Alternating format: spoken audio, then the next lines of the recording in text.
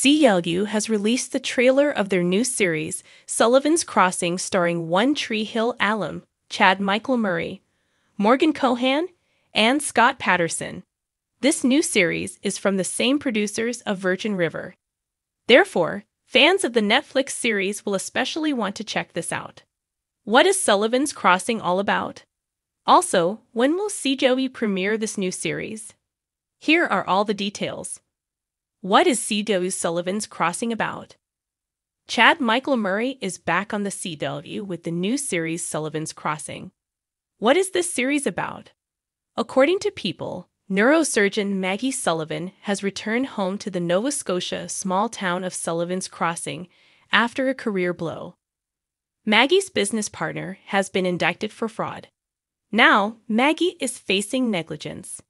She is returning to her childhood home to get perspective.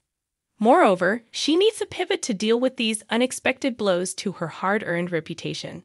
However, returning home is complicated.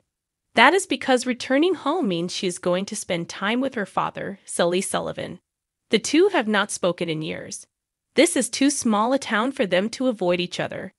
Therefore, a reunion of sorts is inevitable.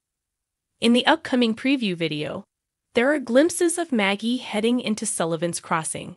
As she thinks about the chaos she left behind, she realizes, I've been so focused on my career, I lost myself. But the trailer shows that she has found her father again. She cries in his arms.